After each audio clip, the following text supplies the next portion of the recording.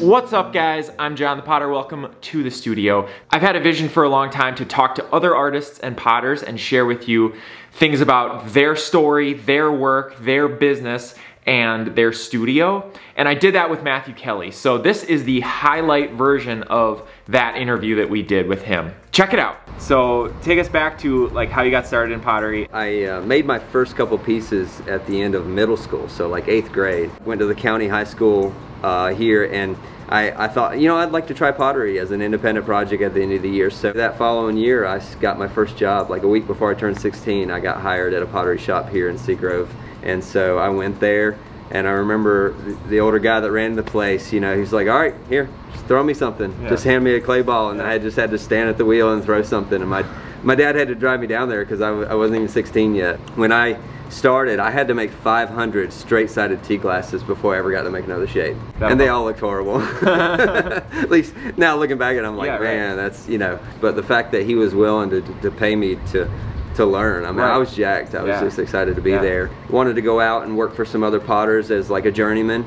And so I spent you know, 20 plus years working as a journeyman for several other potters in the Seagrove area. Really honed in my skill and made a lot of different pots for a lot of different potters.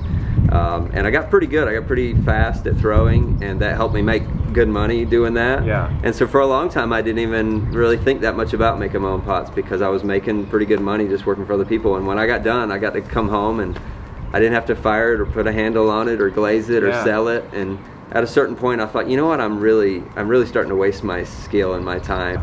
And now I, I can't imagine going to work for anybody else. Yeah, yeah. Just, I would hate it.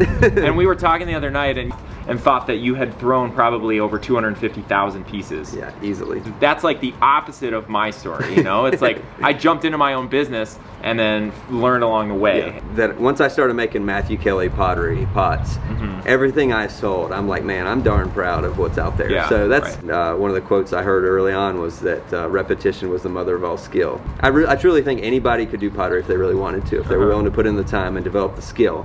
But if you have a talent where you're artistic to begin with, it'll make that process quicker and you'll be even better at it. You pretty much throw a rock anywhere around here and you're gonna hit a pot. How do you stand out? How do so many potters survive? Yeah, when I started in pottery, uh, it definitely was a lot different. Um, people would travel to Seagrove, you know, every weekend. On a Saturday, there was a line of people waiting. At some time during that Saturday, there was a line of people waiting, just standing in line at the shop waiting to buy stuff. Mm -hmm. And then, yeah, over you know, over the period that I was working for different people, that gradually changed. Um, and then there's still the old school potters that like probably don't know how to turn a computer on and don't yeah. want to know. Yeah. First shop I worked at was a very traditional shop and, and they were kind of even against the whole art pottery thing when it first started to happen in Seagrove. It uh -huh. kind of was like looked down upon like because they were a really traditional. It is pretty amazing that that many shops can survive here in Seagrove. Online selling is definitely a thing but I I kind of thought, man, pottery is one of those things that's really hard to sell online because number one, it's harder to ship. Mm -hmm. I know exactly what you talk about when you pull out a cup out of the kiln and you're like, man, if you could just see this in person, yeah. like, so cool,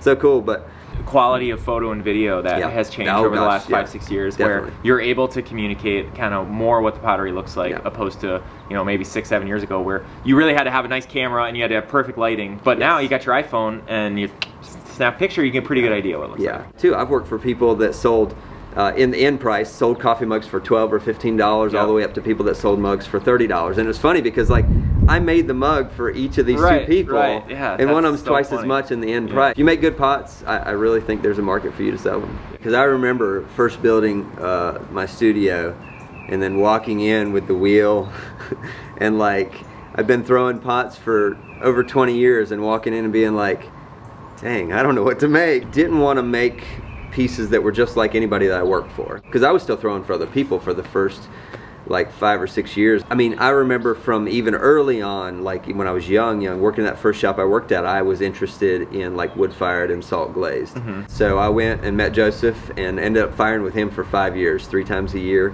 So I fired his kiln 15 times and I would get space in the kiln for all the work that I would give him kind of as a barter. You know, all the glazes I did in an electric kiln just they all looked the same mm -hmm. to mm-hmm. me. It kind of had all the same feel, and it just I don't know, just kind of felt blah. Part of the idea behind building the wood kiln also was the business model, because I knew there was a customer base that uh, was still interested in coming to kiln opening events and mm -hmm. seeing the kiln and buying the pieces in person at your shop. And I thought, you know what, that sounds really really nice as far as from a from a making and a lifestyle standpoint to be able to make the pots here, fire them here, sell them here, get people here that can I can meet in person, that can you know come here and see the kiln and just have an experience. I definitely was interested in gas-fired reduction work. The potter in Georgia that I did the barter for for my brick for my wood kiln, when I finished that barter, he was kind of like I think like man i still would like to have you making pots for me yeah. but i don't you know there's what nothing else, i, I need to yeah. Yeah. He called me up one day and he's like hey he's like you need a gas kiln? And i'm like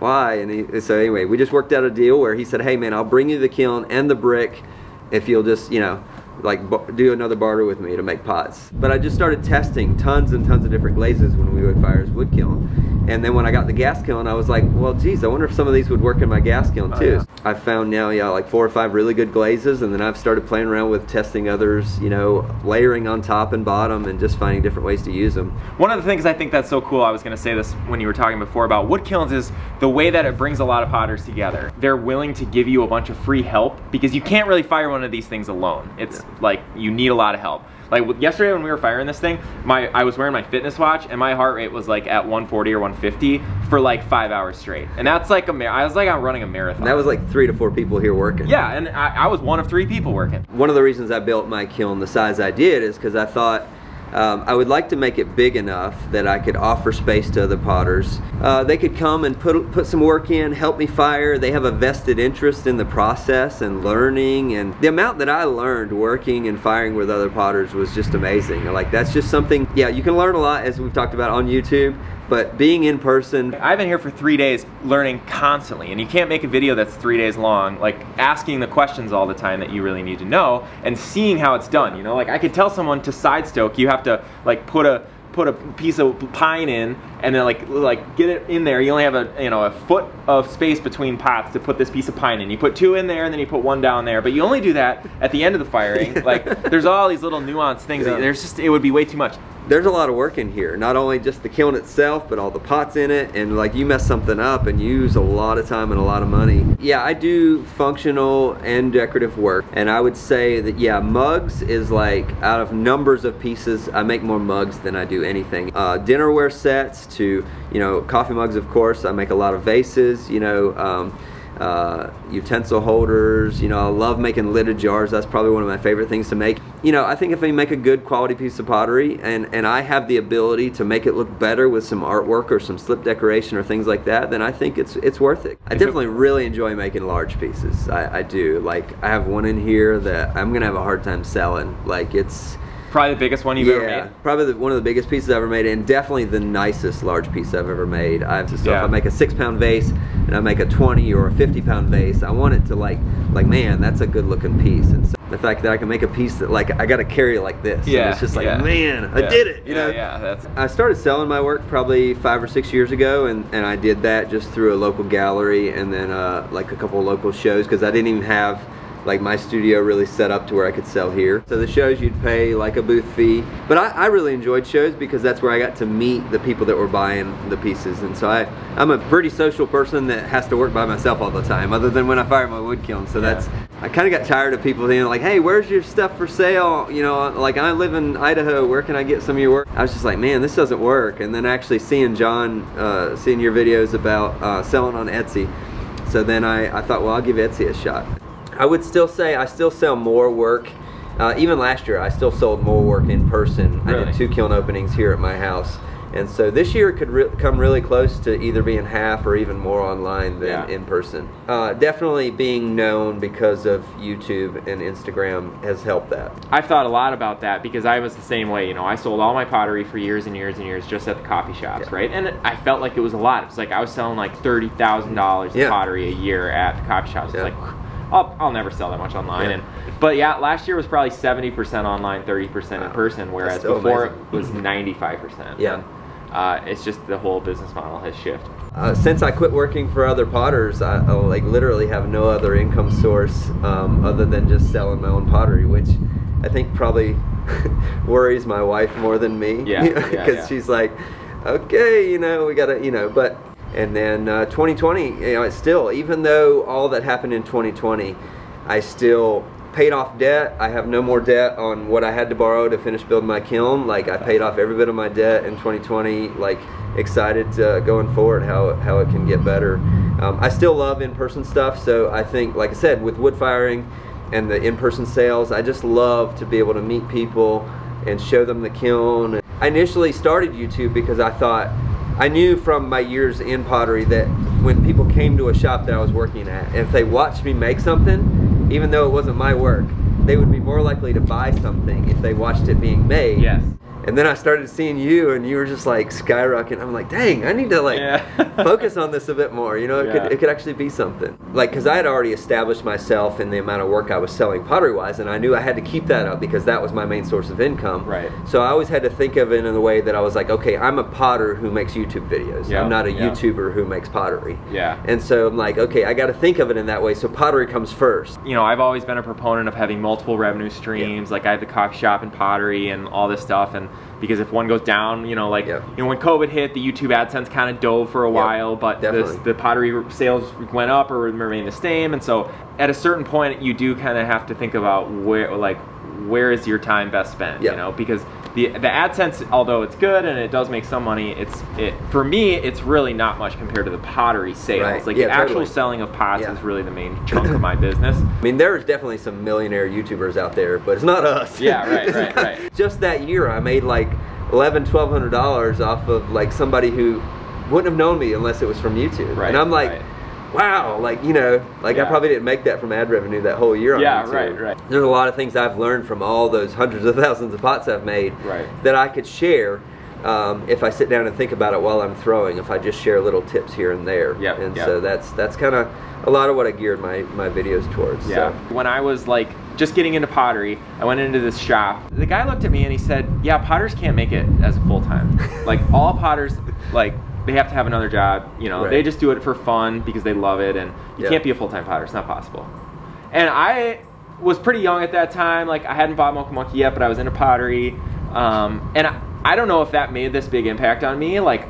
Oh, I can't make it as a full-time potter. I have to go like do this other business first, and then maybe the pottery can. Right. But now the pottery business by itself could easily for me be a full-time thing and it's being it's a full-time thing for you Definitely. and i just want to get your impression on either the stigma that pottery can't be a full-time thing Right. or it's really hard or you have to live on like you know $10000 a year you just have to sacrifice everything to be a potter But the majority of the pottery shops in Seagrove, out of the 60 or 70 that are here, are full-time potters. So, Mm-hmm. you know, I definitely had that advantage to, to you know, kind of discount that stigma. My wife and I lived in, in, a, in a bigger city for a little while, even while I was still making pottery. And I remember her being at the park one day and talking to the lady, and the lady's like, well, what do you guys do? And she's like, oh, well, my husband's an artist, he's a potter. And she's like, oh, I'm so sorry. Like, and she's like, why? And she's like, well, the whole starving artist thing. And I'm like, man, like that's, I hate stigmas like that sometimes Yeah. because they're just so horrible. And I, um, I've told a lot of potters, you know, or a lot of people at the beginning, I'm like, even my first apprentice, like I could see how good he was, and I'm like, dude, if you want to do this for a living, I'm like, you definitely can. Like, you're good. Like, I can tell. And he told me, he said, yeah, well, my parents really want me to get an MBA, and I'm like, and I'm like, well, I'm like, you can, and that's gonna help you run the business side. But I'm like, if you really want to be a potter, you don't even really need that MBA, man. Like, M- MFA is what you're talking about no, right? no, actually, no. Oh, they want to get an MBA. yeah, yeah, MBA. no. Um, yeah, I think probably even worse than that would be an MFA. If Yeah. you just want to actually make pots for a living, like, I mean, it's not worse, but like, you, You don't don't need need it. it. No, you don't. Like, now, if you want to teach, if you want to be a professor of ceramics at a university, they probably want you to have an MFA. But in some ways, it's getting harder because you look on Instagram and like everybody's got an Instagram and everybody's trying to sell pots. Yeah. But I think if you really want to, like, yeah, you could definitely make it as a potter full time. I mean, I'm doing it, you're doing it. Plenty of people around me that are doing it. Yeah. Um, it just, you know, it, it's not going to come easy. Just like anything worthwhile, like you know, you're going to need to practice and get good at making pots. Like you can't just start and think next week I'm going to start selling pots. It's just Yeah. not going to happen. The Yeah. learning curve is steep. Um, but if you're committed to it, uh, yeah, you can definitely do Yeah. it. As being a potter, you don't have to sit down and learn to throw production. But if you if you're creative, but you can force yourself to sit down and throw 100 coffee mugs that are all the same shape, it's going to enhance your creativity so much. So Mhm. like that hard work will enhance whatever creativity you have for sure. Yeah. Majority of what I do, I really enjoy, and I'm very thankful that I get to get up and do something every single day that I really enjoy. But I can't say that every moment of every day is like bliss. Like Yeah, there are right, times right. it's just like, I really don't want to do this right now, but I have to. And Yeah. I mean, but that's just life. And then uh, my last question is, how have you handled the balance between making money versus being happy in your life? I would rather, you know, make less money and be happy doing what I'm doing than make a pile of money. But, uh, but I, like I said, I'm still a very driven person. I want to succeed. So that's, um, it is a balance, but I probably lean a bit more towards the want to be happy side. Yeah, yeah. All right, I hope you guys enjoyed this conversation with Matthew Kelly. We are gonna have the whole studio tour in a separate video because that turned into a little bit longer than I thought it was gonna be. Uh, and then the full interview, the whole hour long thing that we did with him, this was chopped up into what I kind of thought was the best pieces. Uh, and so I'm, I'll have the full interview up on my channel too. You guys can check that out. But I thought this was really fun. What did you guys think? I want to make this a big part of my channel moving forward where two or three times a year I go visit other artists and I do a bunch of videos about them and then I do a big long interview with them. Uh, and so I want to know who would you guys want to see? What studio spaces do you want to see? What kind of work do you want me to explore? So I dove really deep into wood firing and salt firing with Matthew Kelly, and I got a bunch of videos and I dove deep into his life and his story. Uh, and I just had such a great time doing it that I want to do this with other others as well. So comment below who else would be super interesting to go see. I already have some three or four ideas, uh, but I'd love to know what you guys think. So Again, check out all the other videos. Go check out Matthew Kelly Pottery's YouTube channel, Instagram. He has a sale April 30th. Uh, so thanks again so much to Matthew Kelly and his wonderful wife, Danielle Kelly, for having me. It was an amazing time. So, all right. Don't forget to subscribe, like, share, comment, all the things. See you guys in the next video.